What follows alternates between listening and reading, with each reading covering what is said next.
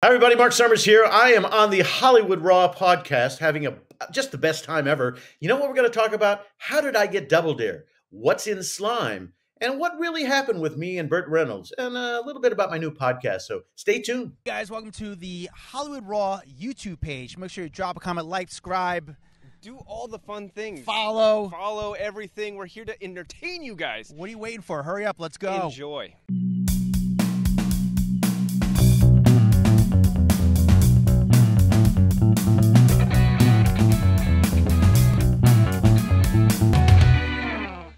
Welcome to the Hollywood Raw podcast. Marc Summers, thank you so much for joining us. Um, Adam couldn't be here today. He's not feeling so hot, but I said I will not cancel on Mr. Marc Summers. That's not happening. He was too big a part of my childhood to uh, to cancel. Where did you grow up? No, uh, I, I am originally from Denver, Colorado, um, but then I moved out to California, and I have been here ever since. I love it. You are you are here in California, correct? I am. I live up in the Santa Barbara area. Um, I was sort of tri-coastal for the longest time, doing a lot of Food Network stuff, uh, mostly on the East Coast. And uh, things slowly uh, disappeared. And then when COVID hit, oh, I said, you know, why do I have all these places that I'm running to? Why don't I have one place? So we moved up to Santa Barbara. And Santa Barbara is one of the most beautiful areas. If, if people come out here to California, make sure you hit up Laguna Beach and Santa Barbara. Those are the two like most beautiful spots you can really hit up. So Marc, I all right. I did a bit of research going into this because it's like I know you from Nickelodeon, I know you from Double Dare, but I kind of wanted to know like the other side of Marc Summers. You know, some maybe that people don't know about. Number one, I didn't realize that Marc Summers isn't your birth name. Marc Berkowitz is actually your birth name. Is that correct? That is correct. And I woke up one morning and they said, uh, We've caught the son of Sam. His name is David Berkowitz. And my phone rang about 10 minutes later from my agent, and he said, and nobody knows who you are anyway. You need to change your name. I won't be able to get you an audition anywhere. And um, it, it, freaked me out. And uh, yeah. no relation, needless to say, the guy was even adopted. But uh, nonetheless, um, the most anti Semitic people in Hollywood are other Jewish people. And so I changed my name to Marc Summers and started to work. What can I tell you? That is so funny. I, I had no idea. Now, okay, when you when you go and tell your parents, "Hey, I'm changing my my my name, the family name," how does that affect them? Were they like, "Damn," or do they get it? Uh, kind of 50-50. Uh, why you doing that? Um, and and uh, yet they got it uh, career wise. I had a friend of mine. Uh, his name was Howie Itzkowitz, stand up comic. He was uh, really funny. Uh, had trouble getting arrested. Changed his name to Howie Stevens. Started to work like crazy. So I, it's it's a weird thing. I mean, there was a comedian by the name of Stanley Myron Handelman who couldn't have been more popular. I don't know how important names are. I started off as a disc jockey 100 years ago, and it used to be uh, one syllable first names and two syllable last names. So Marc Summers seems to work in that vein. And there was a DJ when I grew up in Indianapolis whose name was Dick Summer. I added an S to his name, and, and that's how I came up with it. So funny. It's it's always interesting to hear how people came up with their like their stage name, their performer name. I love it. When did you actually start? Like, how old were you when you started doing Double Dare? Double Dare, I was 34. Um, I thought I was not going to get a job doing what I wanted to do. In fact, I had a smoked salmon business uh, that was doing fantastic. We were in a Price Club uh, before, uh, you know, prior to being Costco. We were in Trader Joe's uh, I was selling between 80 and 100,000 pounds of smoked salmon a month. We were doing great. Um, and I thought, well, that's where my career is going. And then a friend of mine, Dave Garrison, who was a ventriloquist, got a call and said, Hey, uh, some network I've never heard of called Nickelodeon is looking for a host for a show. I've never heard of Nickelodeon, and I don't want to host anymore. I want to be a producer. So why don't you go instead of me? And so I didn't even think you can do that today. But um, I went into the audition. They said Dave Garrison. I said he's not here, but my name is Marc. Can I audition instead? They said sure. And uh, three months later, I had the job. Dang. And then did you and Dave talk about that years later? Like this was the best thing you could have ever done for my life. Honest to God, he became a very, very successful producer, and uh, I kind of got my wishes uh, come true by doing that. They had auditioned a thousand people in New York and didn't like anybody. I was the 1st mm-hmm. person to audition in L.A. and uh, got three callbacks before it finally happened.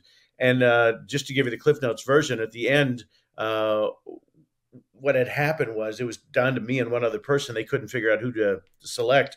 So I suggested they put us both in a studio with kids because the, the the conundrum was we auditioned with adults playing the part of kids, and they didn't know if we could relate to kids. So I suggested mm. we do it with real kids in a studio. So they flew me to New York uh, on a Labor Day prior to uh, the shooting in '86 and uh, did the other thing, the uh, same thing for the other guy. And at the end, they called me and said, "You got the job." And I said, "Well, after looking at about two thousand people, why did you select me?" And they said, "Well, you and the other guy were about the same." But at the end of his audition, he looked at the camera and said, uh, "You guys want me to do anything else?" And I looked at the camera and said, "We'll be back with more Double Dare." Right after this. And because I threw it to commercial, they thought that was more professional. It changed my life. Wow, just that momentary second. You probably didn't even think about it uh, in the time either. No, it, no, I had watched game shows and grew up watching Bob Barker and all these folks, and I figured, well, you know, when you're done with something on TV, you just throw it a commercial. That's what I did instinctively. That's so cool. How many how many times do you think you were slimed on that show? Hundreds. We did uh, 525 episodes, and the first 65, I never got messy. And uh, they did focus groups, and the kid said, "We love the show, we love the host, but we want him to get messy." So the network called me in and said, "Sorry, you know, you got to start getting slimed." And you know, as soon as the door was open, that was it. Uh, kids would say to me, "If we win the obstacle course, can we slime you?" And I went, "Oh, of course." And it just became fun. And what what was the slime made out of? What what kind of concoction is that? Back in the day, it was vanilla pudding, applesauce, and oatmeal. Uh, now, uh, in our latest version of Double Dare, about four years ago when we brought it back briefly, uh, they have a company that um, just does nothing but make slime for Nickelodeon. And we went in for a day and measure the uh, ready for this? The viscosity. Uh, how okay. thick how thin do you want it to be? Do you want it to drip down? Do you want it to just sit there? Uh, so it's very scientific. Back in the day it was just you know let's pour some apple sauce and, and vanilla pudding together and see what happens. It's amazing that that is someone's full-time job to make slime. Like that is a career right there. How many episodes do you think you recorded throughout your days of double dare? And that is with the original and the reboot uh, with the reboot as well, about 600. Uh, and a stop in the middle there for uh, 90 episodes of a show called What Would You Do that we did at Nick, but about 600 episodes of Double Dare. That is unbelievable. What and I'm I'm also so curious because like when I think about Nickelodeon, I think about it like crazy, wild, fun, and was it weird or great like on the Nickelodeon studios, like on the the backlot? Was it as wild and crazy, or was it like super professional and like we just get our stuff done? Uh, no, the the first it was just wild and crazy because when we first started, we were shooting at WHYY in Philadelphia because uh, Nickelodeon didn't have the money to spend to shoot it in New York, so they found the least expensive studio in Philadelphia, and we were shooting for about twelve thousand bucks an episode, which is unheard of even back back then, mm-hmm. and. Um, nobody was kind of watching the store. Um, our exec producer Mike Klinghoffer and our uh, other uh, producer uh, Dana Calderwood and our head writer uh, Alan Silberberg, we all kind of thought we were in a college dorm, and since there was no supervision, we kind of did whatever the hell we wanted. And the things that we got away with, uh, even now when they they show up on Paramount Plus, people go, "I I, I can't believe that got got through." But uh, but we got a lot of stuff done that these days would never happen. How long did it take before like you started to be like, oh, I'm getting paid well? Because if they're doing twelve thousand dollar episodes at the beginning, I, am assuming you weren't exactly paid amazingly well at the beginning, but it, it takes some time and then the show became a crazy hit. When did you feel like, oh, this is awesome? Like this is a career? Well, they started me at 500 bucks an episode. So 2,500 bucks a week. I'd never made money like that anyway. So I thought I had died and gone to heaven. But when it exploded and we went into syndication, oh boy, uh, my life changed uh, because to this day I still have ownership in the show. Um, and so we took it on tour as well, and we would do uh, twenty thousand seat arenas, um, selling lots of merchandise uh, and things such as that. So about three years after we started, around uh, 89, 90, I, I went, "Wow, this is this is a cool way to make a living." That is so cool, and I, I got to imagine that that when you have ownership, you're getting residuals for some kind because I feel like I will still turn on the TV random days and I'll see something pop up and I'm like, damn, it's one of those shows that has really lasted forever because it, it it doesn't get old watching like kids have fun and then like the younger generation starts to get into it. It's really cool. It's it's true. And uh, when we brought it back, uh, we do international format deals, so I get to uh, share in that. Uh, the last tour, needless to say, that was uh, magnificent. Uh, the Paramount Plus, uh, you know, reboots constantly. So yeah, it's the gift that keeps on giving. And uh, my agent set up a, an amazing contract, which uh, you know, it's it's a weird business. When I was on the Tonight Show and I got into uh, this uh, little tuffle with Burt Reynolds in 1994. um, that shows all over the world to this day, and the checks keep coming in. So it's it's a bizarre way to think that people can get paid for things they did 30 years ago that that whole interaction with Burt Reynolds, I, I okay. So, question for you: What was it like for anyone who hasn't seen this? Go YouTube it because it's a pretty damn famous moment from the, the, the Tonight Show when uh, Marc was on and Burt Reynolds was just being a dickhead for some reason. Uh, but what what happened after the taping stopped in backstage? Did you guys talk at all, or like what was the outcome of that? He left uh, when they went to the last commercial, he just left the stage. Okay, and and Jay's, you know, well, what's going on with you know, and and uh, so when we came back, we find out that he got in his car and and, and went home. And Jay called me the next day and said, you know, what's going on between you and Burt? And I said, like, you know, I waited my whole life to be on the Tonight Show. I was looking at. I started off as stand-up comic. I was at the comedy store with Dave and Jay and Rob and all those guys. And I just thought, well, this guy's a heckler, and I'm going to respond uh, accordingly. And I had a meeting the next day after that uh, moments. a friend of mine, Steve Bender, who knew um, Burt's uh, publicist, and he said, "Do you want me to call Burt's publicist and see what he thought of the whole situation?" I went, "Yeah," because everybody thought it was set up. It was not set up; it just happened. And uh, Burt said I was a bottom feeder of show business, and I didn't respect the movie star. So uh, whatever bug he had up his particular part of the body, who knows? Um, but it, it, once again never goes away, and it's a moment that uh, will last uh, uh, forever. I think yeah it was it was weird to watch as like a um, you know the audience because you're like wait what just happened? Like why is burt so upset with this tv host? Like it didn't make any sense. Like it just kind of came out of nowhere. He was clearly had an agenda there. Um but yeah it was weird to watch. But hey made for some great television all these years later correct it really did. And then did that help? Uh, i mean controversy and all that kind of stuff obviously helps. Did it help make you more of a household name to the people that were not watching Nickelodeon at the time? Well, well, yeah. You know, I remember driving home and I called my wife, and it either the best thing in the world just happened to me or the worst thing happened. I, I wasn't sure quite how uh, you know it was going to play. And at the time, Dave was beating Jay every night, and uh, they were running promos before I even got in the car to go back home. And uh, so there was a huge tune in fact, and it was the first time that that uh, Jay beat Dave. Um, so that was an interesting situation. And um, yeah, it just, you know, you can't plan on that stuff. It just works or it doesn't.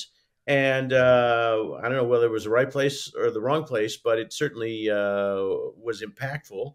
And uh, it helped turn my life around and put me on the map uh, with a lot more people. God, I love that you threw the ice back on him or the water on him. It was great. It was such a good moment. Thank uh, you. Did you when you look back on on your career, do you, do you ever feel like you were like the that Hollywood typecast you because of you of working at Nickelodeon? Was it harder to get more serious jobs or different hosting jobs? Because I, I got to imagine, you know, Nickelodeon and Double Dare was huge, but then there's I'm assuming there was a moment in your life where you wanted to try something different, and that was there was that hard to do? Yeah, because uh, all the reviews or articles always started off with kiddie show host Marc Summers. Okay, and uh, I never wanted to be a, a, kids game show host, but uh, I was 34 and wanted to keep working. And I never played it like it was a kid show. Uh, I never said to the kids, you know, do you have a boyfriend? Uh, I just talked to them like they were grown-ups. And, and that seemed to work really well. But yeah, I was afraid I was going to get typecast. I tell you, a turning point was um, uh, an exec producer of a show called uh, Scrabble at the time uh, Bob Noah really believed in my career, and I had done some announcing for him, some warm ups, and various things throughout the years. And when I became a host, he called me up and said, uh, "We're doing." Uh, favorite game show host week on Scrabble. Would you like to be on? We've got all these, you know, great hosts been on television forever. I went, yeah, and he said, okay, well, we'll, we'll book you. And about 20 minutes later, the phone rang and he said, I got good news and bad news. And I said, Well, what's the bad news? He said, uh, I called NBC and they said he hasn't been on television long enough to be a favorite game show host. So, absolutely not. He cannot be on that week. And then Bob, thinking, said, Well, I want Chuck Woolery, the host, to play the game. So, how about if Marc hosts why Chuck plays? He goes, Oh, he can host it. He just can't be on his favorite game show host. So, I hosted Scrabble on NBC when Chuck Woolery played Chuck Woolery played that week, and all of a sudden I was looked at as a guy who, gee, might be able to do grown up game shows and other things, and it was a, a turning point in my life. now after you hosted that show, would they then consider you for favorite game show host? Uh, oh wow, that's nuts. You know the net, the networks are always insane. Uh, probably not. I think the guys I was on with, I was on with John Davidson and Tom Kennedy, and you know those kind of folks who'd been around for a long time. And you know when I got Double Dare, although I, I was 34, people thought I was a lot younger. I looked younger at the time. Mm-hmm. Uh, and these other guys were in their 50s and 60s. I remember auditioning early on before Double Dare and uh, at a network game show, and they said, "Come back when you have gray hair and wrinkles, kid," because back then that was the way to do it. You had to have that sort of look. And uh, Double Dare changed that, and then you know after I did it, you know all of a sudden there was a guy by the name of Ryan Seacrest who looked super young and started doing shows. So there was a turning point with uh, me hosting uh, Nickelodeon that, that changed other people's lives as well as mine. Isn't that funny? Because now it's like it's the opposite. I feel like if you come in like right away with gray hair and wrinkles, they go, ah, now we're looking for someone younger. And you're like, what the heck? I can't win here. Come true. on. It's like I'm never in the right place at the right time.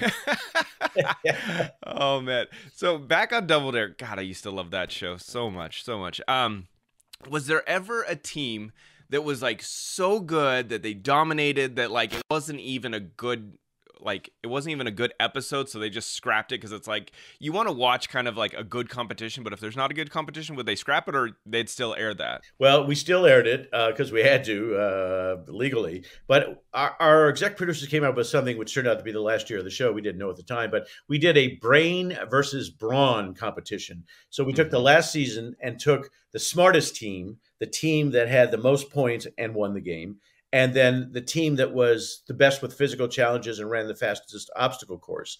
And so the final episode was an hour special where we took the team and the family that was like amazing, got every physical challenge, ran the course in record time, and then we took the team that had the smartest uh, family and and scored insane amount of points. And uh, the brains beat the brawn team, uh, and I guess that may uh, say a lot about uh, life in general. So uh, being intelligent, I think, may be more important than being you know, uh, physically fit. But this team did uh, did both, and I stay in touch with these people. The Garrisons uh, live up in New Hampshire, and you know now the kids are in their 30s, and uh, you know they were little at the time, and uh, it's just kind of fun to stay in touch with some of these people. That's awesome.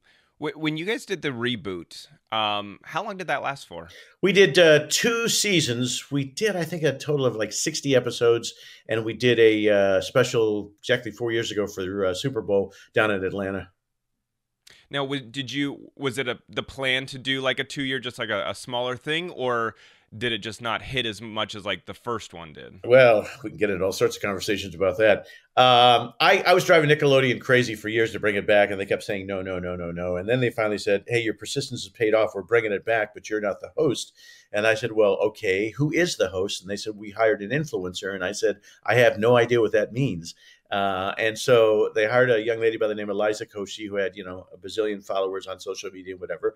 And I was exec producer and quote her sidekick and announcer and all that other kind of good stuff. And the ratings were fantastic.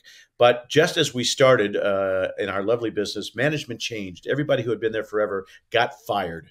And the new team came in. And this is what happens in every network situation. When the new new team comes in, if they didn't start it, get everything out of there that was there before me. And so we were doing fine ratings wise, but uh, the new team said, mm, I don't think so. So they pulled the plug. And, you know, sadly that happened. We did a tour and did about uh, 70 cities in 18 months, which was a lot of fun. But I did realize that wa- walking around uh, the country in your late 60s versus in your mid 30s uh, is a lot more difficult. So you're playing. I didn't play to bigger houses this time. I couldn't do it anymore. Uh, instead of playing to 20,000 seat places, we were playing to three to 5,000. But that's still a lot because I'm in the audience, I'm yeah. running back and forth and whatever. And although I'm in pretty good shape, uh, it, it is a little different at this point in my life.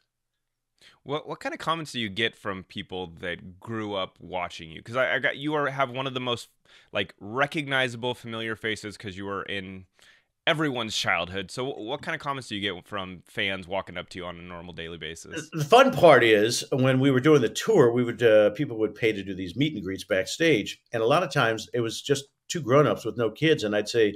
Well, where are your kids? And they go, well, hell with the kids. We just want to have fun on our own. And so it was a lot of grown-ups wanting to relive their childhood.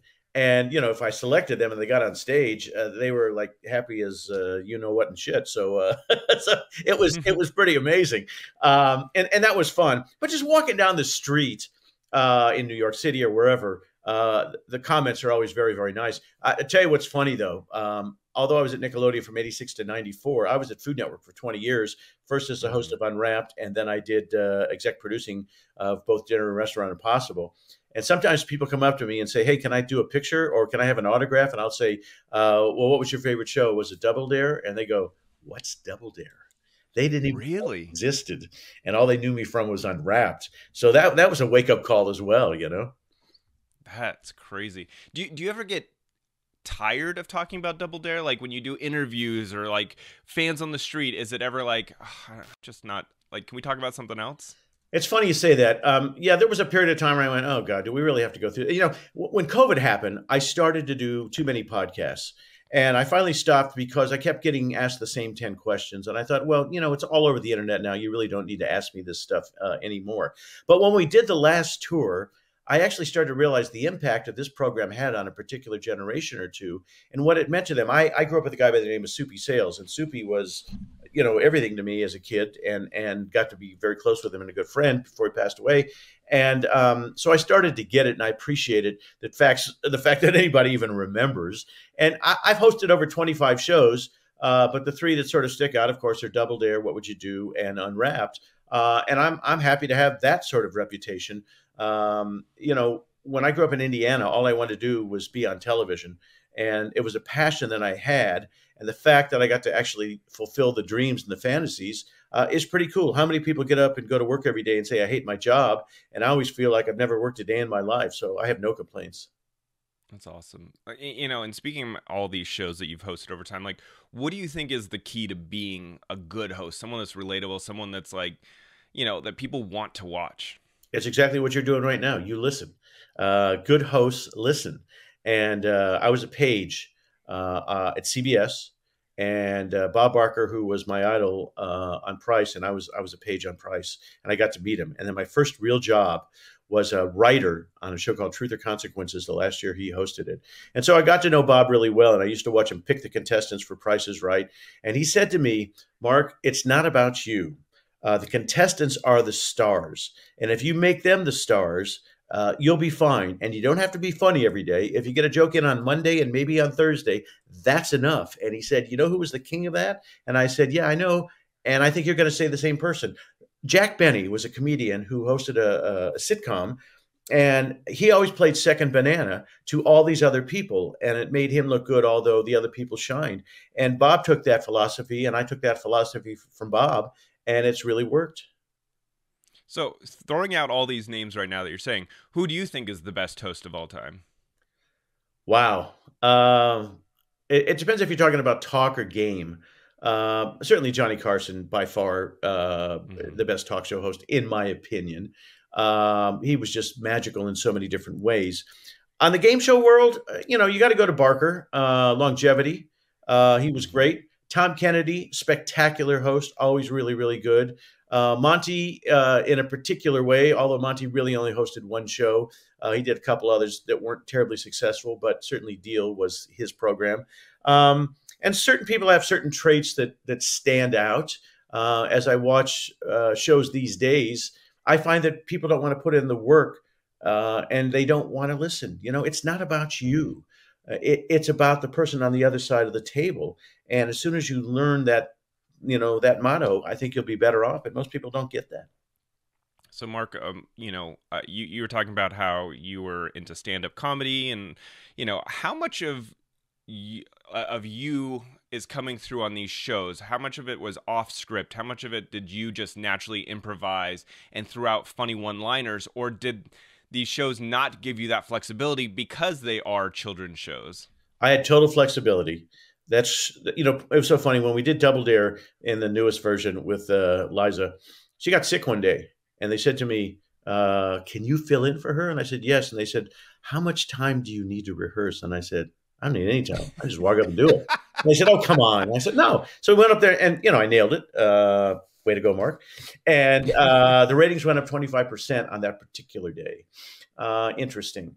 Um, and so when we were doing Double Dare, once again, I was a 34 year old guy who never wanted to host a kids show, and I wanted to do funny stuff. And so I was doing impressions that the kids had no idea who I was, who I was doing. I was doing impersonations, impersonations of a Broadway star by the name of Ethel Merman. I was doing Henry Fonda. I was doing Ed Sullivan.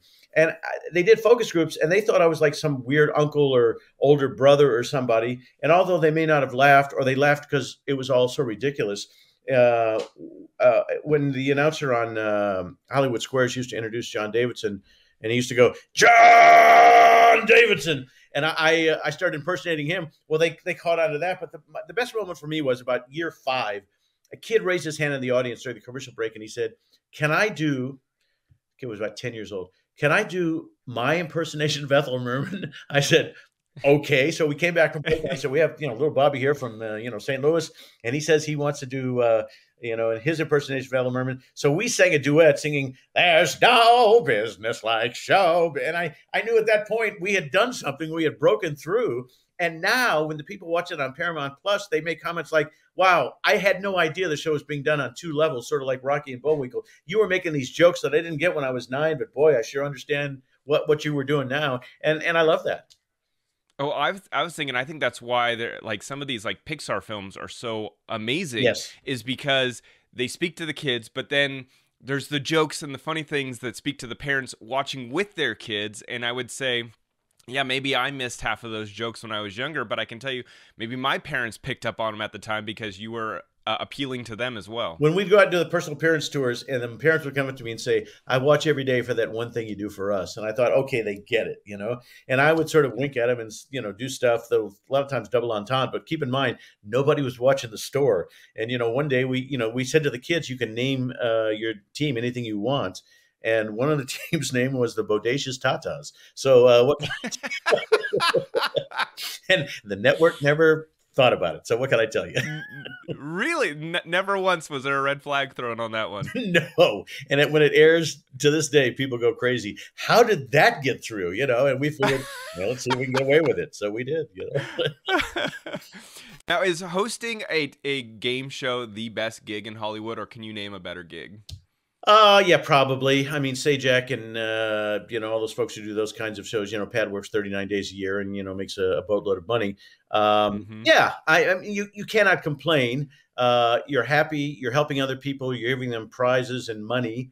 Uh, what's wrong with that picture? You know, absolutely nothing. Yeah. Uh, I didn't feel the pressure so much there. I've had a couple shots at some talk shows, and uh, to do that five days a week. I mean, the fact that Jimmy Kimmel just hit twenty years, and you know Jay and all those guys did it for so many years. It's hard work. It, it, if you do it right, if you prep it mm-hmm. properly and do your homework, you can't just walk in and and you know uh, walk through it and, and, and phone it in. You, you, really have to do a lot of work. And last time I saw Kimmel, I was at a charity event and I said, "How's it going?" And he said, "You know." And I said, "Well, what does that mean?" He goes, "You know how hard this is. I mean, every day you've got to, you know."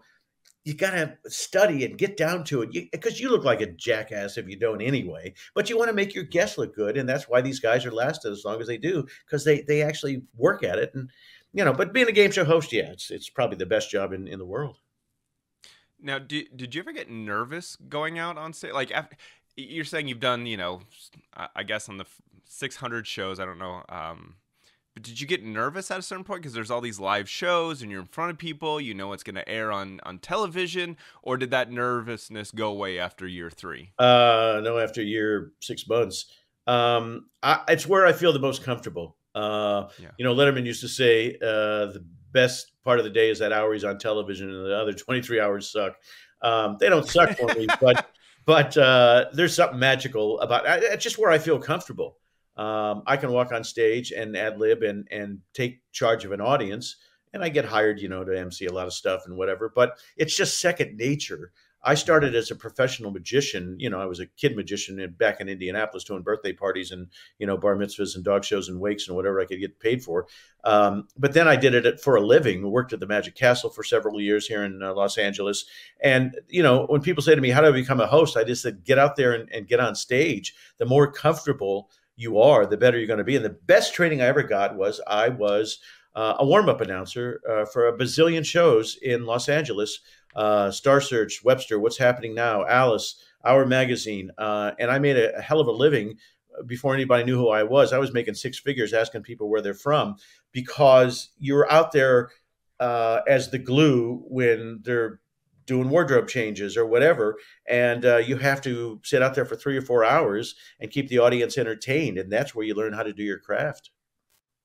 And, and, tell people what the Magic Castle is, because not everyone knows if they're outside of LA what the Magic Castle is and how cool it is. So explain it from your point of view. Magic Castle is Disneyland for adults. It's a private club. You walk in, it's sort of a haunted castle. You say "Open Sesame," and this door opens up, and then you walk into a room where there's a, a piano uh, with a haunted person by the name of Irma, and you can walk up to Irma, who you can't see, of course, and ask Irma to play any song, and she'll play it for you. There's bars everywhere. There's a restaurant, but there's showrooms. And uh, they like to think, and most times they're correct, uh, the be- best magicians in the world uh, are the only ones who are allowed to perform there. And when I first moved to Los Angeles, I was 21 years old, made it through my first audition, and started performing at the Magic Castle when I was 21. Did so for many years um, until I was an opening act for uh, Gallagher, and I was playing a place called the Laugh Stop in Newport Beach. And he said to me, uh, I was still Marc Berkowitz. He said, Berkowitz, come here. I said, Yeah. He goes, This is Leo. You're an asshole. I said, Leo, why am I an asshole? He says, How much they paying you to cut those ropes and do those card tricks? And at the time I was making 150 bucks to open for him. He goes, That's why you're an asshole. Stand-up comics get twice as much. Get rid of those props. Now, funny coming from a comedian who who used only props, but he said, Get rid of the props and you'll get paid more money. And so I slowly weaned uh, the card tricks and the rope tricks away. And next thing I knew, I was opening for people with 300 bucks instead of 150, and it was a turning point in my life. That's awesome. Now, I, I, if anyone can ever get out there, you, you got to get an invitation to the Magic Castle. It is so cool. It's right behind, basically, the is it the Dolby Theater still? I yeah. don't even know what the yeah. I think it is. Change days. next week, but yeah. Yeah, I'm like whatever whatever the theater is called that has the handprints in front of it at this point. Uh, but it's like right behind there, um, and it's tucked up. It's really just a fascinating, cool place. I've been there a couple times, but really cool. Their, their up close magic room was probably my favorite. Like you were literally right next to the magicians, and they're doing these sleight of hand tricks that are just so cool. Anyway, uh, just had to throw that out there because I love that place. Nice. Um, and then uh, what I was also going to ask because we were talking about how you know if you got nervous being in front of people or doing perform, uh, I guess hosting. Have you ever gotten nervous or starstruck with a celebrity? Like, is there anyone that you met that like truly starstruck you? Yeah, um, when I was a page at CBS, everybody knew that uh, I was an old show business freak. So uh, there was an AFI dinner for Jimmy Cagney.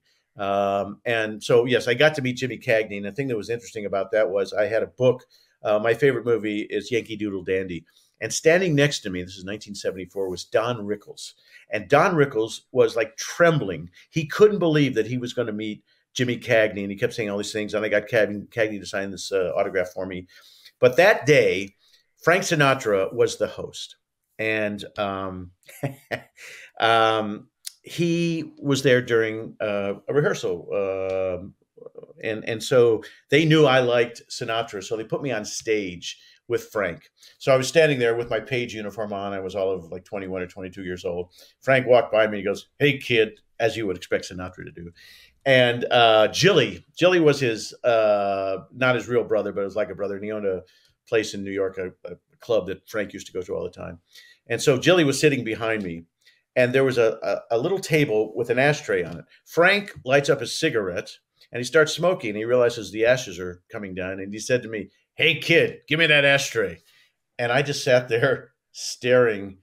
My feet were like nailed to the. I I I couldn't move. And he said, "Kid, ashtray." And I sat there with this ridiculous look on my face, and I, I just couldn't move. And finally, Jilly got up and grabbed it. He said, Frank said he wanted the ashtray, and he went over and got it. and that was the one moment where I went, "Oh my god!" Uh, I never thought I would be that guy, but I was that guy because I couldn't believe I was in the presence of uh, Frank Sinatra. I mean, that's that's a pretty damn good one to be starstruck by, Frank Sinatra. Not everyone can say that. That's cool. I, I think it, what I also I took away from that story was that Don Rickles actually could be nervous to meet someone. Like I just I can't even picture Don Rickles ever being nervous in his life. So it was interesting. It was really, and you know, and I had a the opportunity to go to dinner with Frank Sinatra's first wife, uh, Nancy Senior, and uh, we go to a place called Guido's, of course and when we walked in, they were playing Sinatra music, and she said, uh, "Can I uh, can I order for you? You know, like whatever you want." And uh, she said, "Ask me whatever you want." And I said to her, uh, "Okay, if I go, you know, overbound. Just tell me. She goes, no, you can ask me anything. So I said, uh, why did you never get married after you and Frank divorced? She said, honey, where do you go after Frank? He was the best. And she told me stories that when he was carrying on the affair with Ava Gardner or whatever, he would come to her house, lay on the couch. She would make pasta in the kitchen. And they had this relationship that never went away that they raised the kids together. She said, We never made a move uh, with those kids unless we just discussed it. So he never, uh, you know, sort of left uh, his first love uh, from, you know, down, down the street in the neighborhood. And I was always impressed with that as well. Hmm. So interesting. So interesting. You've had a crazy life, sir. I must I say, have. the people that you've met. So you've got this new podcast that's coming out um, February 13th. It's called uh, Marc Summers Unwraps. Tell me about because I, I was listening to the trailer. You've got a lot of people coming on. It seems like you've done a lot of work already to this point, doing interviews and chatting with people. Tell me, number one, the concept of the podcast, and then who you're having on. Well, I never wanted to do a podcast because um, I, I just thought there's so many people out there already ahead of me. How am I ever going to break through? And this company that got behind me, uh, I believe, said, "I'm telling you, you can do this." And I realized uh, it's going to be a lot of work. So after three or four requests, I said, "Okay, let's do this."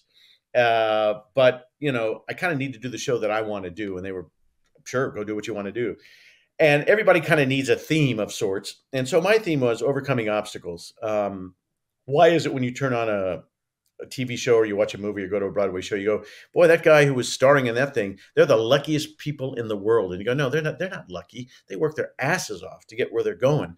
And the question becomes why, when people have obstacles, some people jump over the wall, some people figure a way to go around it, and other people go, oh, I'm not going to do this anymore, and they retreat. And you know, uh, I was 34 before I got my first show. Um, I've had cancer. I was in a car accident where I broke every bone in my face. Um, I've had obstacles to overcome myself.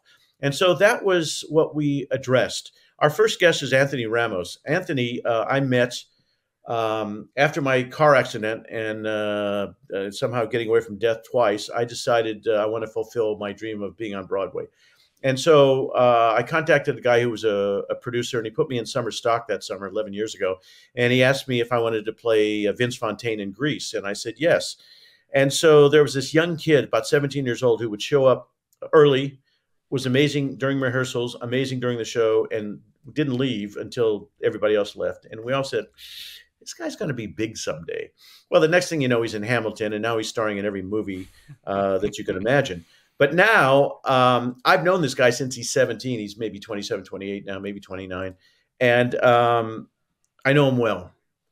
And I got him to come on and open up about a lot of stuff.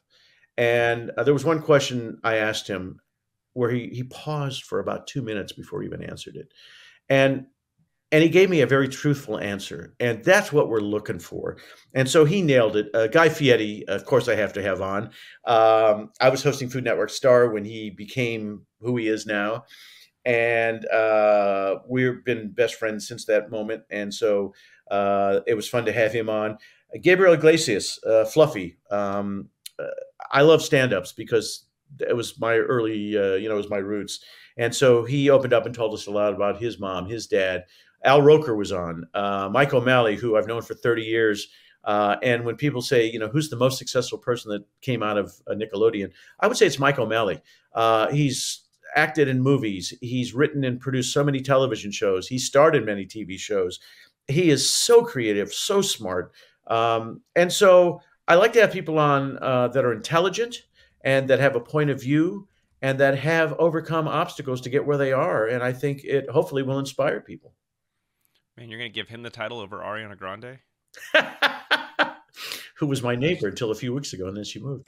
Um, what is what is that like being a neighbor with Ariana Grande? Uh, you know, what can I tell you? In my neighborhood, it's it's so bizarre the people who live around me that you don't even think about it. I mean, I have, I'm, you know, I don't want to be a name dropper, but you know, I have lunch every Wednesday with Dennis. Drop Miller. those names, Marc Summers. Let's hear it. I, Dennis Miller and I have become best friends. We have lunch every every week together and talk about the smartest human in the history of the world. When you sit and have lunch with Dennis, I need a thesaurus, an encyclopedia, a dictionary, his frame of references. I get 72% of the time, and then I write things down, go home and look it up um, because he just he's brilliant. He should be on something because his uh, his irreverence and his point of view is, is just spectacular.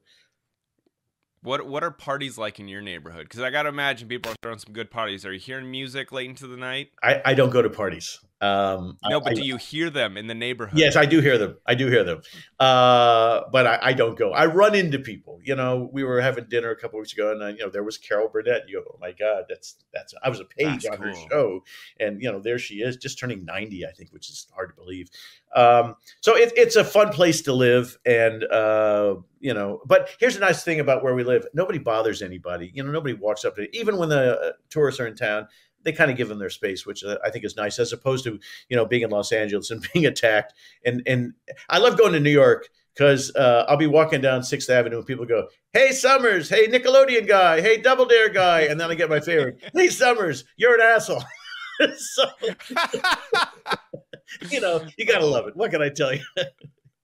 I love it, man. Well, I'm I'm excited for your new podcast series. I think um, you know, just by the names that you've already got on, I think that's cool. Who who is the one person that you want on that you have not locked down yet? Well, there's a boatload of those. I would say Tom Hanks. Um, I would okay. love to get him on.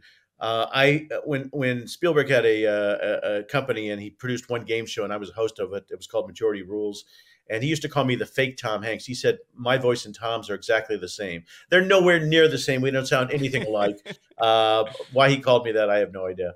But anyway, I've always wanted. I've never gotten a chance to meet Hanks. He's probably the one guy that's uh, escaped me. He was doing a Broadway show, and my way of getting to people is by FedExing them. Uh, and it generally opens up doors. And I FedExed him backstage and whatever, but he, he never responded. So somehow, some way, I guess Tom Hanks would be the guy I'd really want to talk to. Dude, that would be a huge interview. That'd be really cool. Yeah. yeah. How about really you? Fun. Who would well, you want to interview that you haven't? Well, we've we've wanted Tori Spelling for a very long time. I just think that she has such a, a fascinating life. Yeah. Growing up in, you know, in TV royalty and you know, being a, a, TV star herself. So we we have been on a crusade to get Tori Spelling. We really want her. Um, you know, because here's the thing for me, it's not about like the biggest stars in the world because a lot of the biggest stars in the world they don't they don't open up, they don't tell the real story because they kind of have like they're prepped, you know, and like yes. they're guarded. Yes, I think people that have lived fascinating lives that to me is almost more interesting, and so I think that's why we we just recently got. um Tara Reid on. And I think she's had such a fascinating, crazy life. And she was someone we've wanted on for a very long time. I'd love to have Snooki. I don't know. There's just there's people out there that I, I find their lives so different and unique, and I want to talk to them about their lives. Well, it's so know, guess, to get to these people, the publicists can be pains in the ass. Um, tell me about it. it it's to get Gabriel Iglesias on was a nightmare. Okay, his his surroundings of publicists and agents, and managers wouldn't let me get near him, and I said, "Yeah." He was on Double Dare. I pied him. He said it was the best day of his life. Do me a favor, just ask him. And the phone rang two yeah. minutes later and said, Gabe wants to do the show. I went, I knew he was going to want to do the show, but you know, they say no all the time before they even go to the talent. And it's Dude, beyond it's... frustrating, you know. One day I had a publicist 100%. who I found out who I fired, and here's why I fired him. I'm walking down the street one day, and a guy comes up to me. He goes, "Hey, I'm sorry you can't uh, MC our charity event next week." And I went, what are you talking about? He goes, well, you know, we're doing this big fundraiser and we called your publicist and he said uh, you weren't available. I said, I'm 100% available. So I called the guy, Frank, and I said, Frank, uh, did you get a phone call for me to host this event? He goes, yeah, but that's beneath you now. I said, you're fired. Okay. Those choices aren't yours. Those are mine. You're supposed to tell me what it is and then I make the decision not you. Yep. And so he went bye bye. And I think this is the problem. All these uh, publicists try to well, earn their money. And the reality of it is, you know, they're getting in the way half the time. Well, it's the the gatekeepers, and I think a lot of publicists, unfortunately, are losing their power because of like social media. Yeah, you know, like it, everything had to go through them for so many years. It was just what happened. So, you know, if uh, Us Weekly wanted a comment, they'd have to go to the publicist. Publicist talk to the star. The star then, you know, and it would all be revealed through them. Now, a celebrity can just go onto Twitter and say whatever they want, and there's no publicist needed. So I feel like a lot of publicists are fighting to keep their their role in in Hollywood. And yeah, they it's so many times that I'm like I reach out to people that, that are like my personal friend, but I'm I'm trying to do like play the role of I'll reach out to the publicist, do the whole thing, and then eventually I'm like screw it i'm just going to reach out to them and go around the publicist because it's too much of a pain it is and it, the best thing is social media i hate social media but i love social media because uh, you can get to people through direct messaging and if they watch their yeah. stuff um, I, I, am a big fan of the cbs uh, morning show and I love everybody on there, but I like Tony and I and I love Nate, and so I direct message them both of them. And uh, next thing I know, I'm having lunch with them in New York uh, because they were nice enough to respond and they were fans growing up. That's the other thing. I have that little magical thing. I figure out how old these people are and if they grew up watching me, and then generally they respond, you know, pretty darn quick because they're more excited to have lunch with me apparently than I am with them. But um, I, I, don't know. It's just it's just kind of a little thing that you can do. And I find out that through social media and through FedExing, I've gotten it just about everybody I've ever wanted to get to, and it's a little magical trick that I use, and I'm sharing it with everybody out there now. I love it. Well, Marc, good luck on uh, your your podcast, and for anyone who wants to check, it's called Marc Summers Unwraps. Uh, you can go wherever you download your podcast, check it out there. He's got quite a lineup, um, and if you want to listen to the teaser, he's you can kind of hear little bits and pieces of uh, some of the future guests. Now, is this a weekly podcast or monthly? What is it's weekly? You, we, have uh, shot a bunch of them already, and uh, now that the word's out, the phone's ringing. People saying, "Well, why don't you have me on your show?" So, uh, in success, I guess we'll get to do this for a long time time, and that would be a lot of fun. Once again, it beats working, you know. Awesome. Well, good luck with all that. You can check out Marc Summers uh, on IG at Real Marc Summers. You can check him out on social media and uh, listen to his podcast. And thank you, buddy, for stopping by. Appreciate and thank it. you. Uh, I, I, say this uh, sincerely. Uh, you're great at what you do. You know, I've done thousands of these things, and uh, very rarely do I get to talk to somebody as good as you. So, congratulations to you as well, sir. Well, thank you. That comes that means a lot coming from you. I appreciate that. I mean it. All right. Well, that was fun. Very weird doing a podcast without Adam. Um, but nonetheless, we made it through. We did it. You know, that's funny because Marc Summers was such a big part of my childhood. At least a lot of people who are like my age used to watch Double Dare every day or I don't know if it was every day. Now that I think back, it was it once a week show. I don't even remember, but I just remember I feel like it was always on, and I feel like I watched so many damn episodes. Probably wasted half my childhood watching episodes of Double Dare, and um, fun to talk to people like this. I, I like, you know, I, I said it to Marc. It's it's not about talking to the biggest stars in the world. It's about talking to interesting people with amazing stories and life experiences and i think that's what i like about having these random celebrities on with uh, you know, maybe you haven't heard uh, of Marc in a little bit, but you know that's that's what makes our podcast beautiful. And um, yeah, I was listening to the teaser for his. It sounds interesting, so go check it out if if that you know if you're a fan of Marc's and you want to hear from stories from like Al Roker and stuff. So uh, anyway, guys, thank you so much. Uh, I hope Adam will be joining us for the next episode, which he better be. Um, Make sure you follow us on social media at Hollywood Raw. Make sure you join our podcast group, our podcast group, uh, our Facebook group, Off the Record. It's a private Facebook group. It's where we join to chat about everything going on in entertainment news. People are constantly keeping me updated with all the breaking news. I'm trying to post things in there. We kind of get feedback, listen to you guys, respond to you guys. If you guys have questions for us directly, that is the place to hit us up. Um, and then make sure, please, to go leave us a review. It's the best thing you can do for us. Go to iTunes, find our Hollywood Raw page, scroll to the bottom, leave five star review, uh, say what you like or what you love, or you can even say what you don't like. Just give us five stars um, so we can improve. And uh, yeah, it's the best thing you can do for us. You can find Adam at Adam Glyn. You can find me at Dax Holt on all social media platforms. And we will see you guys next time. Bye. What's up, guys? If you like that video, there's plenty more that came from. Make sure you like, subscribe, hit the bell so we can just feed you all the goodness daily. Hurry up. Come on, let's go.